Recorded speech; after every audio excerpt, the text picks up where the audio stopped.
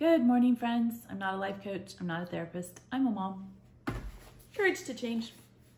April 17th. Many of us have had anxious moments at work and around our families when it came to making decisions affecting others as a group. We'd worry, will everyone be happy with the decision? Surely there was one perfect way to do things, and it was our responsibility to find it.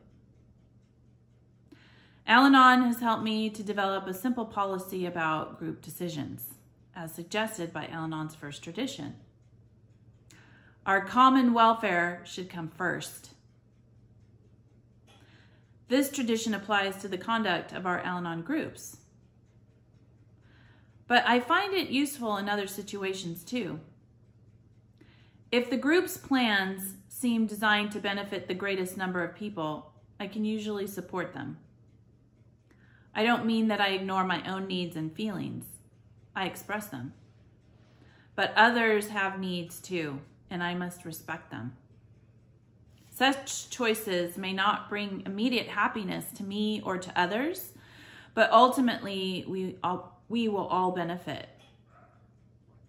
As the first tradition says, personal progress for the greatest number depends upon unity. Today's reminder do I try to force my will on others in group situations? Or am I learning to respect their rights as well as my own? I can feel secure in my opinions if I keep the group's best interests at heart. The quote is from the 12 Steps and Traditions. Quote, Unity presents not only the necessary climate for the growth of Al Anon as a whole, but also the atmosphere in which each member within the group may acquire peace of mind, end quote. I'll read that again. Unity presents not only the necessary climate for the growth of Al Anon as a whole, but also the atmosphere in which each member within the group may acquire peace of mind. Courage to change. Affirmations for the inner child, April 17th. It's on feelings. I feel and express my true feelings. In recovery, I seek safe places and appropriate ways for the child within me to express powerful emotions. While I was growing up, my parents did not express their feelings in clear and responsible ways. I learned to hide or mislabel my emotions. I felt anger when I was scared and sadness when I was angry. In recovery, I'm learning to express my feelings honestly.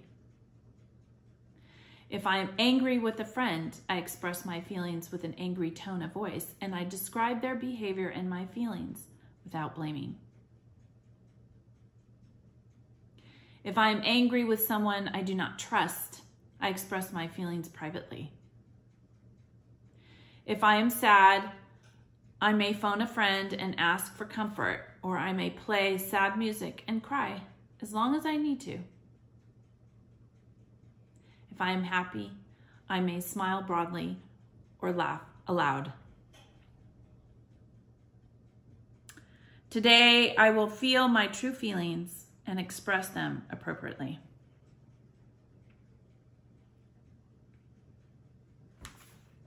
Affirmations for the inner child.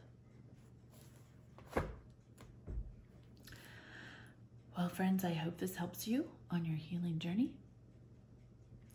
Follow your bliss and be good humans.